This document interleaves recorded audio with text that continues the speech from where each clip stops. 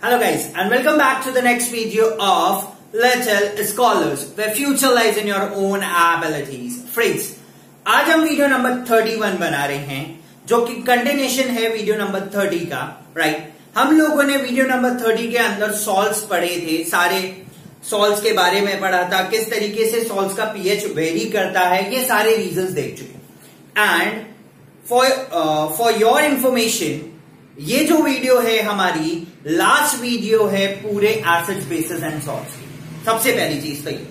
दूसरी चीज़ ये कि आपको इस वीडियो के डिस्क्रिप्शन लिंक के अंदर मिलेगा टेस्ट सीरीज़ का paper number third which is completely based on life process पूरा का पूरा ये जो वीडियो मिलने वाला है डिस्क्रिप्शन इस वीडियो के अंदर डिस्क्रिप्शन लिंक के अंदर आपको लाइफ प्रोसेस का पेपर मिलेगा।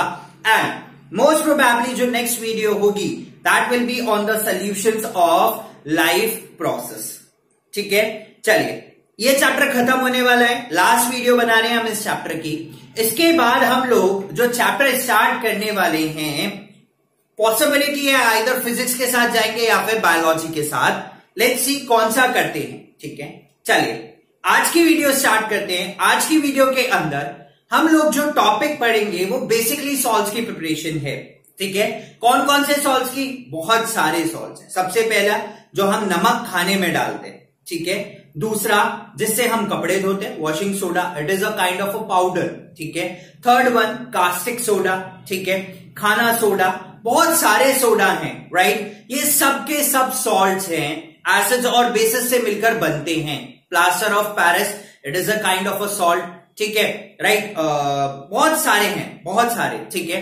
बट हम कुछ लिमिटेड सॉल्व के ही यहाँ पर प्रिपरेशन यूज़र्स और फर्दर उनके बारे में डिटेल्स पढ़ेंगे जो इस वीडियो के अंदर खत्म हो जाएँगे, ठीक है? चलिए, ज़्यादा टाइम नहीं वेस्ट करते लेट्स स्टार्ट विद द सबसे पहली चीज़ दैट इज़ कॉमन सॉल्ट एक चीज़ बता दो, ये सबसे इंपॉर्टेंट सॉल्ट है। इसके बिना कोई दूसरा सॉल्ट नहीं बन सकता, पहली चीज़। ठीक है? इसके बिना जितने भी इंपॉर्टेंट सॉल्ट हैं, जो हम पढ़ने वाले हैं, ये उन सबका बेसिक मटेरियल है। इसके बिना वो सॉल्ट बनना पॉसिबल नहीं है, पहली। दूसरी चीज़, अगर खाने के अंदर नमक नहीं हो then it will be tasteless यानी कि ये सबसे इंपॉर्टेंट चीज़ है। चलिए, पढ़ोगे कैसे, याद कैसे करेंगे? पहले बता देता हूँ। सबसे पहले सॉल्ट का नाम, दूसरा चीज़ कॉमन नेम जो कहा जाता है उसको, तीसरी चीज़ केमिकल जो नाम है, चौथी चीज़ उसका केमिकल फॉर्मूला ठीक है? पांचवी चीज़, अगर उसके पास कोई पर्टिकुलर करेक्टरिस्टिक है, वो दिखता कैसा है, कोई पीएच की वैल्यू अगर कोई गिवन है तो। ठीक है? छठी चीज़, सबसे पहले उसकी लैबोरेटरी प्रिपरेशन या general preparation and last but not the least uses सिर्फ़ इसी तरीके से हम लोग सॉल्ट को याद करेंगे, ठीक है? आपको पेपर में भी सिर्फ़ और सिर्फ़ इसी तरीके से आंसर्स को फ्रेम करना। कोई ज़बरदस्ती नहीं करनी, कुछ ज़्यादा नहीं लिखना है टू द पॉइंट्स को आंसर देना है। यहाँ से एक क्वेश्चन ज़रूर आएगा सॉल्ट के इस चैप्टर के अंदर। एसिड बेसिस एंड सॉल्ट के अंदर one question is compulsory mandatory mandatory इस टॉपिक से आता है। And it is of three to four marks जैसे भी होता है, ठीक है? बट इस टॉपिक से आता है। चलिए वीडियो स्टार्ट करते हैं, ठीक है? देखिए, सबसे पहला सॉल्ट जो लिया है मैंने that is common salt sodium chloride दूसरा नाम है। घर पे हम लोग इसको नमक बोलते हैं, हिंदी में, ठीक है? जो कॉमन नेम है, वो है नमक। तो इसी नमक से सारे सॉल्ट को जाना जाता है, ठीक है? अगर कोई भी बोले नमक, कोई भी बोले सॉल्ट सबसे पहली चीज़ जो दिमाग में आएगी, मन में आएगी दैट इज़ नमक। ठीक है? तो इसीलिए इसको जर्नल सॉल्ट भी कहा जाता है, सबसे कॉमन सॉल्ट है। इसका जो केमिकल नेम है दैट इज़ सोडियम क्लोराइड पहले बेस है, फिर एसिड है, ठीक है? केमिकल फॉर्मूला जो है इसका NaCl, ठीक है? थर्ड चीज़ पढ़ते हैं इसकी करेक्टरिस्टिक्स ये व्हाइट कलर का पाउडर होता है, जिसका पीएच अप्रोक्सीमेटली सेवन होता है। It means it is a neutral salt तो इसको न्यूट्रल सॉल्ट भी कहा जाता है। रिमेंबर के लिए याद रखिएगा। ठीक है? अब चलते हैं इसकी लैबोरेटरी प्रिपरेशन देखिए, इसकी दो प्रिपरेशन है। जनरली हम लोग इसको लैबोरेटरी में प्रिपेयर नहीं करते, क्योंकि नेचुरली इतनी ज़्यादा बिग क्वांटिटी में बिना पैसा खर्च किए, ज़्यादा, बिना ज़्यादा अमाउंट ऑफ़ मनी एक्सपेंड किए, हमको बहुत अच्छे से नेचर के अंदर अवेलेबल हो जाता है। इसीलिए इसकी लेबोरेटरी प्रिपरेशन इतनी ज़्यादा इंपॉर्टेंट नहीं मानी जाती और ना ही करी जाती है। प्रेफरेंस हम लोग नेचुरल प्रिपरेशन को ही देते हैं। ठीक है, चलिए। लैबोरेटरी प्रिपरेशन है। लेबोरेटरी के अंदर जो सोडियम क्लोराइड है, वो प्रिपेयर किया जाता है। एक तो हम लोग जोड़ेंगे सोडियम हाइड्रोक्साइड और दूसरी चीज़ हम लोग जोड़ेंगे हाइड्रोक्लोरिक एसिड यानी कि वीक एसिड वीक बेसिस लेंगे। तो NH aqua solution plus HCl का एक्वा सोल्यूशन दोनों को जोड़ा तो हम लोगों को मिला NaCl which is aqueous in nature sodium chloride common salt मिल गया प्लस वाटर ठीक है? अब क्या करेंगे? ये जो कॉमन सॉल्ट मिला है, ठीक है ना? हम लोग जो नमक खाते हैं that is solid in structure ठीक है? बट ये जो है, ये एक्वस है। तो अब क्या करा जाएगा? जब ये नमक बन जाएगा एक्वस सोल्यूशन होगा तो इसको धूप में रखा जाएगा। एवेपोरेट एवेपोरेशन होता है, पानी निकल के चला जाता है एंड में एक सॉलिड मास छोड़ जाता है। That solid mass is known as sodium chloride salt which is solid in nature but इसको जनरली लेबोरेटरी प्रिपरेशन से नहीं करा जाता, क्योंकि ये नेचर के अंदर फ्रीली अवेलेबल है। अब नेक्स्ट पढ़ते हैं हम लोग point number four that is natural preparation of common salt common salt जो है, वो नेचुरली दो तरीके से प्रिपेयर किया जाता है। सबसे पहली प्रिपरेशन जो कि होती है from the sea water sea water में क्या करते हैं, हम लोग जो नमक सी वाटर है, समुद्र का पानी है, वो बहुत नमकीन होता है। ठीक है, बहुत सॉल्टी वाटर है। अगर आप पियो तो बोले ऐसे नमक नमक खा लिया। ठीक है राइट रिसेंटली अभी मैं घूमने गया था ओडिशा तो वहाँ हम लोग बीच पे गए। ठीक है, वहाँ नहाने पहुँच गए हम लोग बीच पे। तो बहुत तेज वेव्स आ रही थी, बहुत तेज वाटर करंट आ रहे थे। ठीक है सडनली एक करंट आया है ऊपर से पूरा। पूरा का पूरा पानी अंदर, नमक ही नमक। ठीक है तो भयंकर बहुत सारा नमक होता है उसके अंदर। राइट तो अब क्या करते हैं? उसको हम लोग पानी को छोटे छोटे पैचेस में इकट्ठा कर लेते हैं। थोड़ा सा इधर, इतने बड़ा पैच बना दिया, एक रूम जितना, उसमें पानी इकट्ठा करके रख दिया, ठीक है? एक उसके पास में एक और पैच बना लिया ठीक है? उसमें पानी इकट्ठा हो गया, और बाउंड्रीज बना देते हैं चारों तरफ़ मिट्टी की, ठीक है? लाइक कैसी भी बाउंड्रीज बना देते हैं। अब उसमें पानी इकट्ठा है, और वो एवेपोरेट हो रहा है। जैसे जैसे वो पानी इवेपोरेट होगा, उसमें से वाटर निकल के चला जाएगा, पीछे छोड़ देगा हम लोगों को कॉमन सॉल्ट ठीक है? बट वो कॉमन सॉल्ट हम लोग डायरेक्टली यूज़ नहीं कर सकते जस्ट बिकॉज़ के उसके अंदर बहुत सारी इंप्योरिटीज होती हैं, ठीक है? तो अब उसको उसके बाद प्योरीफाई किया जाता है और फिर उसके बाद हम इस सॉल्ट को यूज़ कर सकते हैं, ठीक है? दोस्तों, ये वही सॉल्ट है जिसके ऊपर गांधी जी ने पूरा डांडी मार्च कर दिया था, ठीक है ना? तो ये आपका हिस्ट्री का भी चैप्टर है that is nationalism in India तो पूरा गांधी जी ने एक मूवमेंट किया इस सॉल्ट के ऊपर सिर्फ़ इस सॉल्ट को सुखाने और उसके बाद उसको खाने के ऊपर। तो ये बहुत इंपॉर्टेंट है, देखो, वहाँ पे भी क्वेश्चन आएगा, यहाँ पे भी क्वेश्चन आएगा सॉल्ट का राइट ये वही वाला सॉल्ट है जिसके पीछे गांधी जी लड़े थे, ठीक है? एक जगह से दूसरी जगह तक गए थे, पता नहीं कहाँ से कहाँ तक राइट चलिए नेक्स्ट सेकेंड मिल सकता है हमें कॉमन सॉल्ट अंडरग्राउंड डिपॉजिट से। अंडरग्राउंड डिपॉजिट कैसे?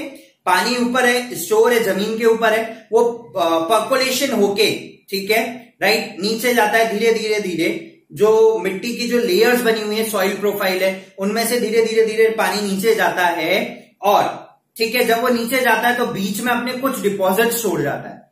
दैट डिपॉजिट आर सॉल्ट ठीक है? Right right? क्या करते हैं? वो बेसिकली ब्राउन कलर का होता है, ठीक है? इसीलिए उसको रॉक सॉल्ट कहा जाता है। उसको निकालते हैं, उसके बाद उसका प्योरिफिकेशन करते हैं। प्योरिफिकेशन करने के बाद जो सॉल्ट मिलता है दैट इज़ कॉमन सॉल्ट ठीक है? तो आपको अगर नेचर के अंदर सॉल्ट अवेलेबल हो रहा है then it is in impure form crystals की फॉर्म में होता है रॉक रॉक सॉल्ट ठीक है? ब्राउनिश ठीक है? राइट बहुत कॉमन है, आपने बहुत जगह देखा होगा। ठीक है? क्रिस्टल्स की फॉर्म में. राइट देखिए the large crystals of common salt found in the underground deposits are called rock salt it is usually brown due to the presence of impurities ठीक है? राइट अब चलिए। लास्ट इसका जो टॉपिक है कॉमन सॉल्ट का that is uses of common salt सबसे पहली चीज़ मैं बता चुका हूँ, खाने के काम में आता है नंबर वन चीज़। दूसरी चीज़, बहुत सारे केमिकल्स के इंडस्ट्रियल प्रिपरेशन में एक बेसिक रॉ मटेरियल की फॉर्म में यूज़ किया जाता है। ठीक है? जैसे सोडियम हाइड्रोक्साइड की फॉर्मेशन के लिए sorry sodium carbonate sodium hydrogen carbonate hydrogen chlorine chlorides इन सबके फॉर्मेशन के अंदर जो चीज़ यूज़ आती है दैट इज़ कॉमन सॉल्ट ठीक है? Second it is use in the cooking food in cooking food ठीक है? It adds taste to the food also and most important thing is without it without it the HCl produce in the stomach does not produce ठीक है? तो हमारे stomach के अंदर जो HCL बन रहा है, वो नहीं बनेगा अगर हम लोग खाने के अंदर सॉल्ट नहीं लेते हैं कॉमन सॉल्ट नहीं लेते हैं, ठीक है? हमारे मसल्स के मूवमेंट के लिए कॉमन सॉल्ट का होना बॉडी के अंदर ज़रूरी है प्लस नर्वस सिस्टम के फंक्शनिंग करने के लिए भी कॉमन सॉल्ट का होना ज़रूरी है। और थर्ड थिंग ये आयोडीन कंटेन करता है। तो अगर आयोडीन की कमी हमारी बॉडी के अंदर हो जाती है तो हमें ग्वाइटर होने के चांसेस है। थायराइड ग्लैंड प्रॉपरली फ़ंक्शन नहीं करेगी। यहाँ से ये उठा हुआ हो जाता है, ठीक है? Right this is this is what? Uh, the improper functioning of the thyroid gland due to the deficiency of iodine in the food. ठीक है? राइट तो इसीलिए नमक एक बहुत इंपॉर्टेंट चीज़ है जो हमें रेगुलर लाइफ में लेनी चाहिए। ठीक है? ऐसा कहते हैं I don't know exactly but कि अगर कोई बेबी जो रिप्रोड्यूस हुआ है वो अपने लाइफ स्पेन के चार से पाँच साल अगर बिल्कुल भी नमक ना ले तो उसका बाइट जो होगा मतलब अगर वो किसी को दांत से काट दे it is more poisonous than a snake एक स्नेक से एक सांप से भी ज़्यादा पॉइजनस होगा, अगर उसकी बॉडी में सोडियम क्लोराइड नहीं है, उसकी बॉडी में नमक नहीं है। तो सोच लीजिए कितना इंपॉर्टेंट है ये नमक right okay manufacture of soap soap बनाने के काम में भी आता है and to melt the ices ठीक है जितने भी फॉरेन कंट्रीज़ है even in India also in Leh and Ladakh तो रोड साइड पे जो आइस आ जाती है ठीक है ना जो बर्फ़ जम जाती है राइट तो उसके ऊपर नमक डाला जाता है जिससे वो उसके मेल्टिंग पॉइंट को थोड़ा सा इंक्रीज कर देगा जिसकी वजह से वो जो आ, क्या कहते हैं उसको बर्फ़ ठीक है, वो फटाफट से मेल्ट डाउन हो जाती है, ठीक है? तो to melt down the ice on the road side we use sodium chloride ठीक है? राइट लास्ट बहुत ज़्यादा important but not the least it is use in the preservation of pickles अचार को प्रिजर्व करने के काम में आता है प्लट प्लस साथ में मीट और फ़िश को प्रिजर्व करने के करिंग करने के काम में भी आता है, और प्रिजर्व करने के काम में भी आता है। तो इसका मतलब कि देखिए अगर हम मीट के ऊपर सोडियम क्लोराइड डाल दें नमक डाल दें तो उसको आ, उसके ऊपर बैक्टीरिया का एक्शन कुछ देर तक के लिए कम हो जाएगा और वो ज़्यादा देर तक प्रिजर्व रहेगा। ठीक है?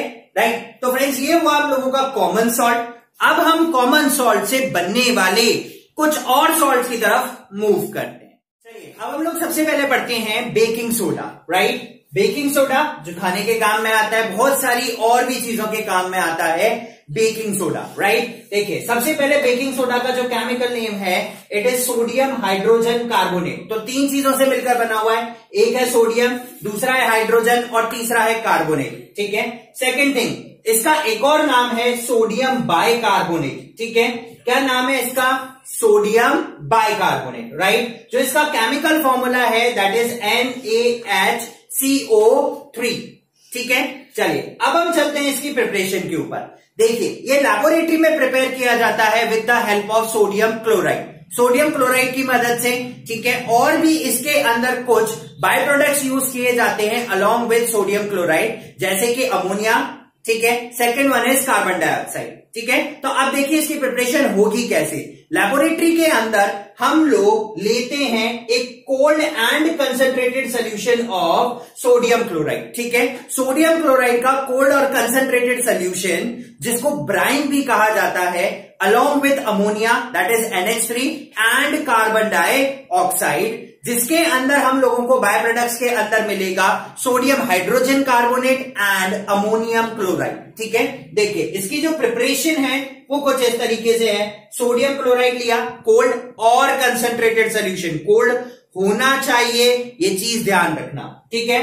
अमोनिया लिया that is NH three plus water plus carbon dioxide ठीक है? इससे जो हम लोगों को मिला दैट इज़ अब सबसे पहले देखो, मिला कैसे?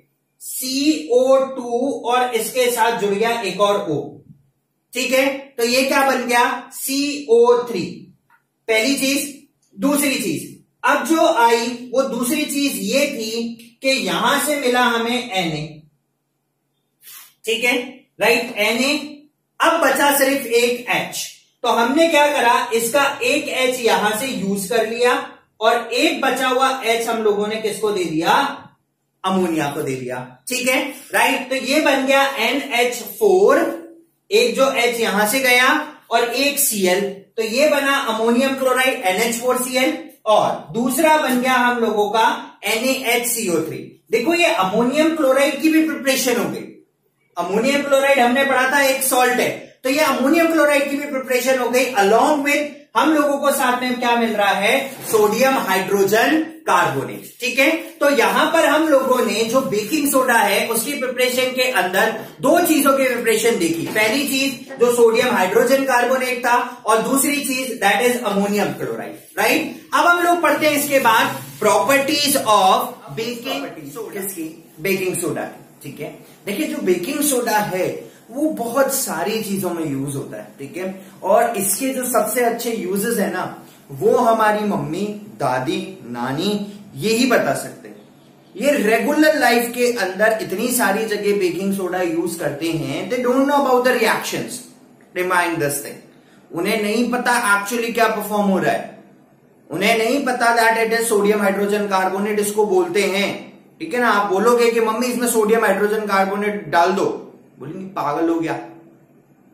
ठीक है तो क्या है कि उनको पता है कि हो क्या रहा है। ठीक है ना? उनको बहुत अच्छे से पता है। उनको बोलो, मम्मी, केक बनाना है। मम्मी बोलेंगे, देखो बेटा, ये डालो। ठीक है, बेकिंग पाउडर डालो।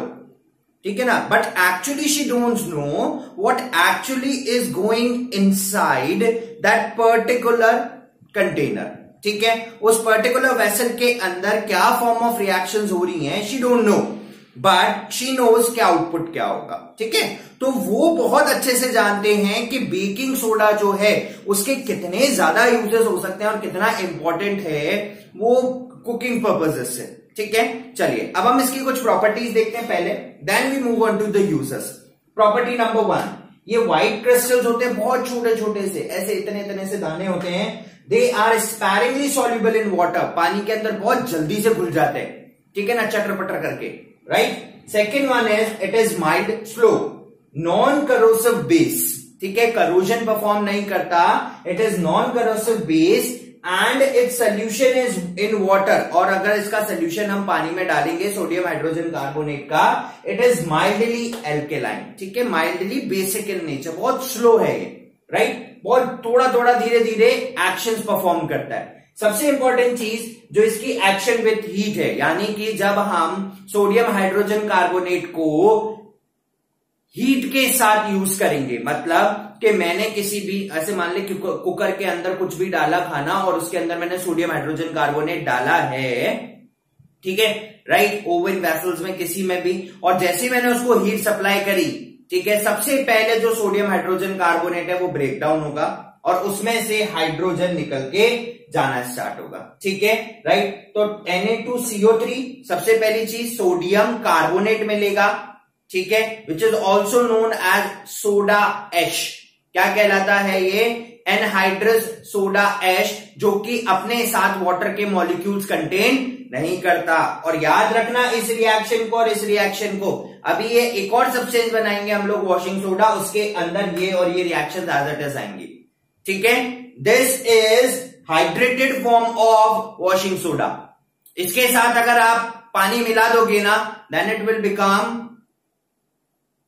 soda ठीक है? राइट तो ये वॉशिंग सोडा बन जाएगा. Then it is anhydrous form right कि जिसके अंदर वाटर के मॉलिक्यूल्स प्रेजेंट नहीं है हाइड्रोजन के मॉलिक्यूल्स प्रेजेंट नहीं है and this is known as soda ash ये सोडा एश कहलाता है. अब यहाँ पर एक सबसे इंपॉर्टेंट चीज़ निकल के आई that is carbon dioxide gas plus water अब यहाँ पर सोडियम हाइड्रोजन कार्बोनेट को हीट करने के बाद जो कार्बन डाइऑक्साइड गैस निकलती है इसका बहुत इंपॉर्टेंट यूज़ है। ठीक है? राइट ये पूरे के पूरे उस सब्सटेंस को एरिएटेड करने के काम में आता है। प्लस हमने जो आ, हम जो केक्स बनाते हैं केक्स के अंदर उसको स्पंजी बनाना प्लस उसके अंदर डफ जनरेट करना, ठीक है ना, वो फूला हुआ पन जो जनरेट करना it is with the help of this carbon dioxide gas ठीक है, जब सोडियम हाइड्रोजन कार्बोनेट को हीट करते हैं, ठीक है। अभी इसको फर्दर यूजेस के अंदर बहुत अच्छे से समझाऊँगा मैं कि किस तरीके से कार्बन डाइऑक्साइड गैस हेल्पफुल है, ठीक है। तो जब भी हम सोडियम हाइड्रोजन कार्बोनेट को हीट करेंगे तो सोडियम कार्बोनेट मिलेगा that is soda ash anhydrous soda ash भी बोल सकते हैं, जिसको हम, जिसके अंदर वाटर का मॉलिक्यूल प्रेजेंट नहीं होता या हाइड्रोजन का मॉलिक्यूल प्रेजेंट नहीं होता।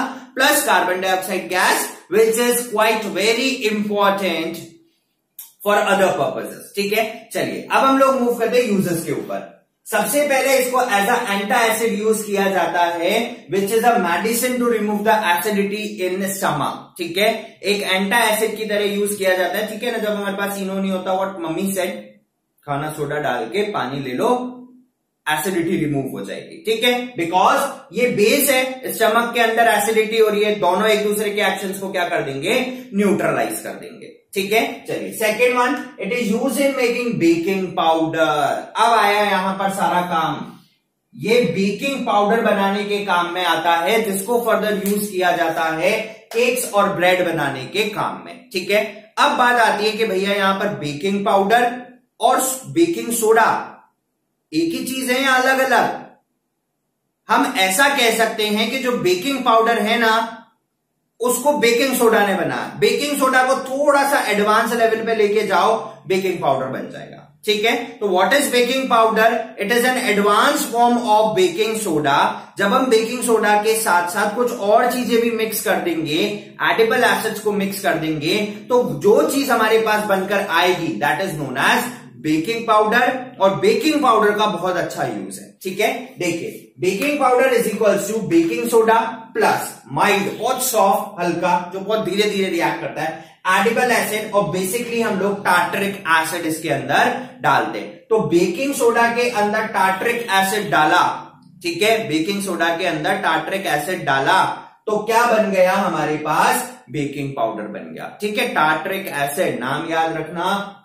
इमलिया ठीक है? टाटरी जिसको बोलते हैं हम लोग राइट हम लोग बहुत सारी चीज़ों में इसको यूज़ करते हैं। ठीक है ना? बहुत अच्छा टेस्ट देती है, बहुत प्लीजेंट स्मेल प्लस अच्छा टेस्ट देने के काम में आता है टार्ट्रिक एसिड चलिए, अब मैं बताता हूँ एक्चुअली होता क्या है। जब भी हम बेकिंग पाउडर को लेंगे और उसको, अब आपने केक बनाना है, ठीक है? आपने डफ लिया, ठीक है? नॉर्मल नॉर्मल हम लोगों ने ब्रेड ली जिसके अंदर वाटर प्रेजेंट है, ठीक है? ध्यान रखिएगा, अगर वाटर प्रेजेंट नहीं है तो बेकिंग पाउडर कोई एक्शन परफॉर्म नहीं कर सकता टार्ट्रिक के साथ मिलकर। हमें कुछ भी आउटपुट नहीं मिलेगा। सिंगल आउटपुट भी नहीं मिलेगा, वो हमारी ब्रेड ऐसे की ऐसी रह जाएगी, कोई डफ जनरेट नहीं होगा, कुछ भी नहीं होगा। यानी कि इनके एक्शन परफॉर्म करने के लिए उसके अंदर वाटर का प्रेजेंस होना बहुत ज़्यादा ज़रूरी है। ठीक है? Without the presence of water they does not perform their action at all ठीक है? चलिए, हमने क्या किया? हम लोगों ने ब्रेड ली, जिसके अंदर ऑलरेडी वाटर प्रेजेंट है। ठीक है? बहुत जैसे उमस प्रेजेंट होती है वैसे वाटर प्रेजेंट है। ठीक है? हम लोगों ने उसमें बेकिंग पाउडर डाला। ठीक है? अब क्या होगा? बेकिंग पाउडर मतलब बेकिंग सोडा जिसके अंदर टार्ट्रिक एसिड प्रेजेंट है, वो जैसे ही उस वाटर के मॉलिक्यूल्स के साथ जाके रिएक्ट करेगा, ठीक है? H प्लस आयंस के साथ जाके जैसे उसने रिएक्ट किया, ठीक है? फटाफट से वो ब्रेक डाउन होगा और ब्रेक डाउन होके हम लोगों को कार्बन डाइऑक्साइड गैस देगा। जैसे वो ब्रेक डाउन हुआ, उसने कार्बन डाइऑक्साइड गैस दी, वहाँ से कार्बन डाइऑक्साइड गैस बहुत तेज़ी से बबल्स की फॉर्म में निकलना स्टार्ट हुई और बबल्स की फॉर्म में निकलने के बाद जो पोर्स प्रेजेंट है ब्रेड के अंदर, वो वहाँ जाके ट्रैप हो गई। वहाँ जाके पकड़ में आ गई। ट्रैप होने के बाद उसने धीरे धीरे डब जनरेट करना स्टार्ट कर दिया। ठीक है? तो इसका मतलब कि यहाँ से जो कार्बन डाइऑक्साइड गैस निकल रही थी, यहाँ पे जो कार्बन डाइऑक्साइड गैस निकल रही है उस ब्रेड के मॉलिक्यूल्स के अंदर, स्पेसिस के अंदर जाके ट्रैप होती है। ट्रैप होने के बाद वो धीरे धीरे एक्सपेंड करती है थोड़ी थोड़ी थोड़ी थोड़ी करके, जिसकी वजह से उसके अंदर डफ जनरेट होता है ठीक है, जो फूलापन आता है ब्रेड का केक का स्पंजी सा केक हो जाता है ब्रेड इतनी स्पंजी सी हो जाती है।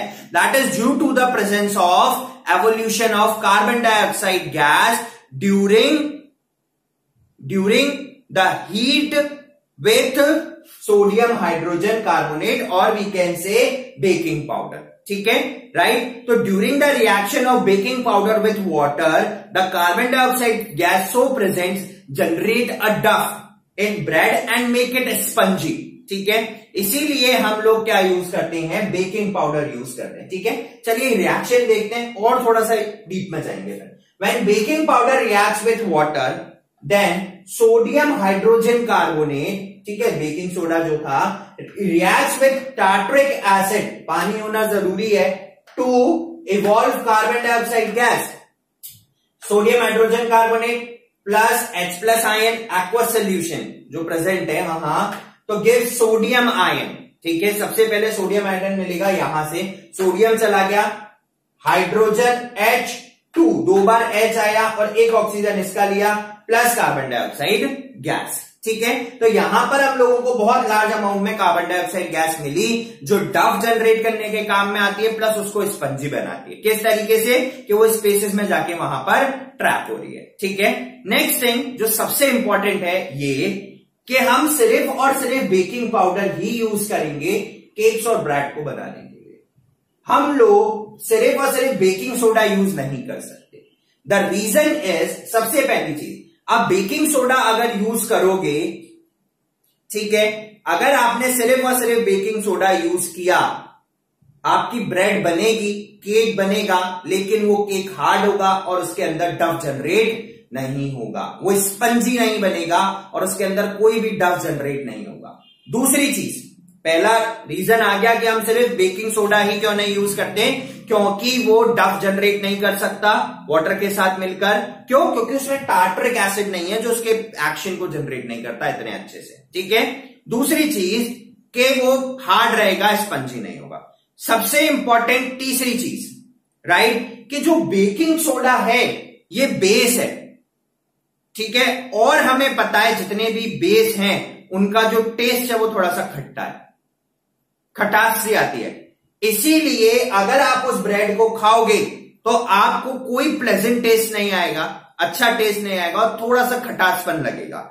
राइट इसी चीज़ को दूर करने के लिए हम लोग बेकिंग सोडा के साथ टार्ट्रिक एसिड भी यूज़ करते हैं, जो उस बेस के एक्शन को न्यूट्रलाइज कर देता है। एसिड है। ये बेस है। बेस और एसिड मिले उसके एक्शन को न्यूट्रलाइज किया। न्यूट्रलाइज किया तो सॉल्ट जनरेट हुआ कार्बन डाइऑक्साइड गैस जनरेट हुई और वाटर जनरेट हुआ। अब आउटपुट निकला। तो जैसे ही हम लोगों ने टार्ट्रिक एसिड भी साथ में लिया तो सबसे पहले उन दोनों के एक्शन का न्यूट्रलाइजेशन हुआ।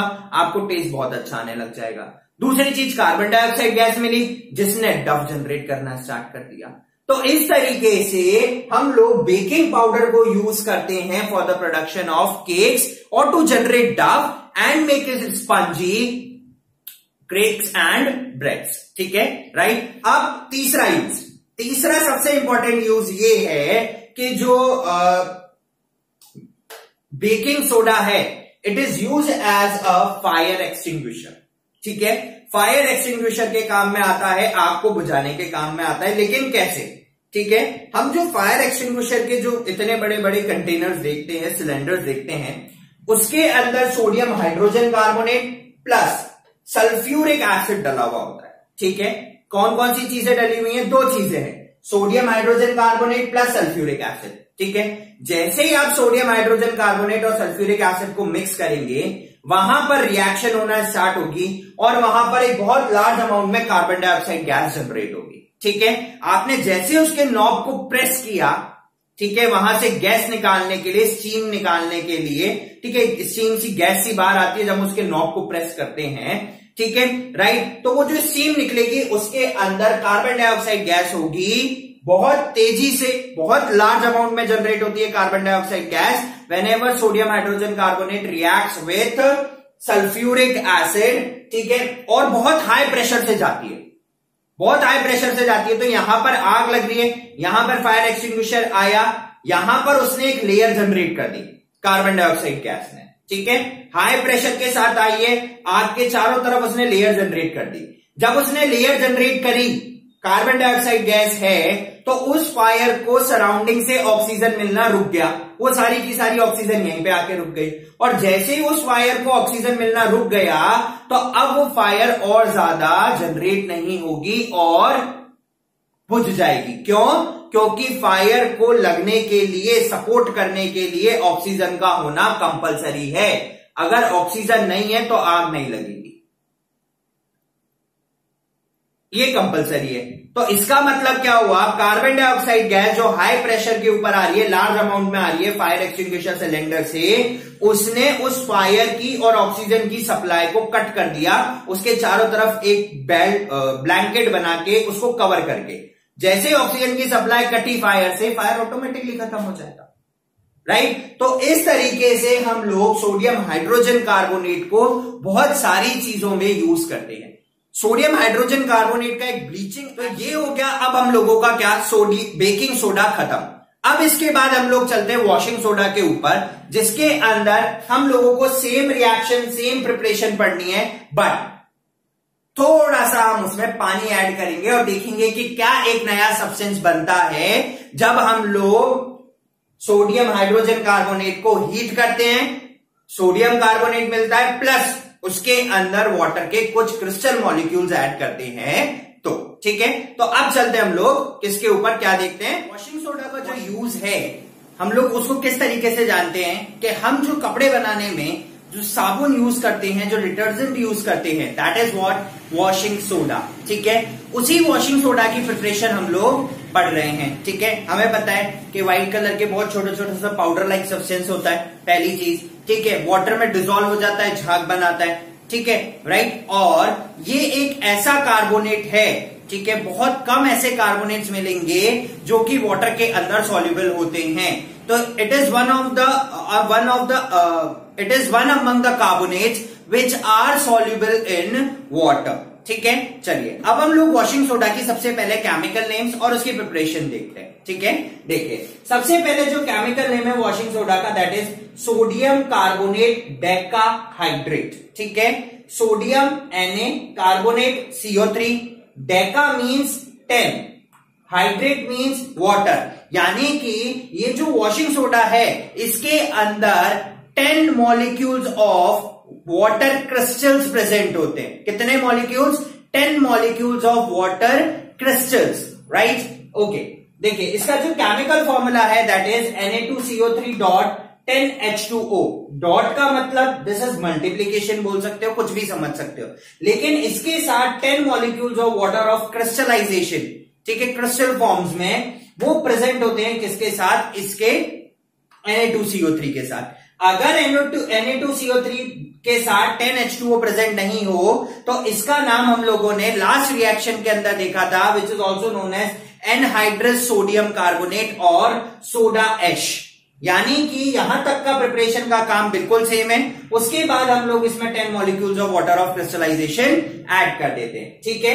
Right if sodium carbonate does not contain any water of crystallization is called anhydrous sodium carbonate और also known as soda ash ठीक है? इसकी प्रिपरेशन सेम वही प्रिपरेशन है। सबसे पहले हम लोग cold and concentrated brine solution लेंगे एनएसीएल का। उसके साथ में अमोनिया प्लस वाटर ठीक है? चलिए, हमने, हम लोगों ने लिया N A C L plus NH3 ammonia plus water plus carbon carbon dioxide हम लोगों को जो मिला that is sodium hydrogen carbonate ठीक है? जिसको अभी हम लोग पढ़ के आए हैं बेकिंग सोडा ठीक है प्लस अमोनियम क्लोराइड NH4Cl ठीक है? यहाँ पर जो NH4 NaHCO3 sodium hydrogen carbonate बना है this is slightly soluble in water तो इसको इसीलिए हम लोग प्रेसिपिटेट आउट कर लेते हैं, वहाँ से सॉलिड फॉर्म को बाहर निकाल लेते हैं। अब जो वो सॉलिड फॉर्म फिल्ट्रेट होके बाहर निकाली है, उसको हीटअप किया जाता है ड्राई अप किया जाता है, उसमें से सारे के सारे पानी के मॉलिक्यूल्स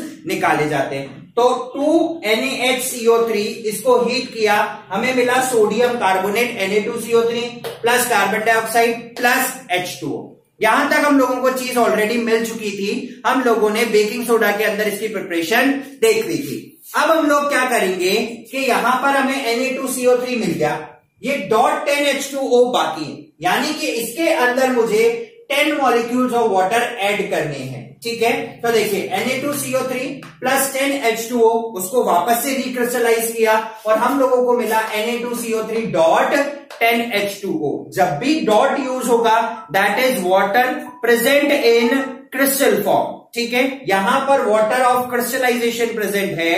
इसका नाम हो गया sodium carbonate deca hydrate which is also known as washing soda ठीक है? चलिए, अब हम इसके यूजेस देखते हैं। सबसे पहले प्रॉपर्टीज़ देन यूजेस प्रॉपर्टीज़ के अंदर ट्रांसपेरेंट क्रिस्टलाइन सॉलिड होता है नंबर वन सेकेंड वाटर के अंदर सॉल्यूबल होता है और जैसे ही हम इसको वाटर के अंदर डालेंगे it will turn to an alkaline solution it means it turns litmus to blue colour ठीक है?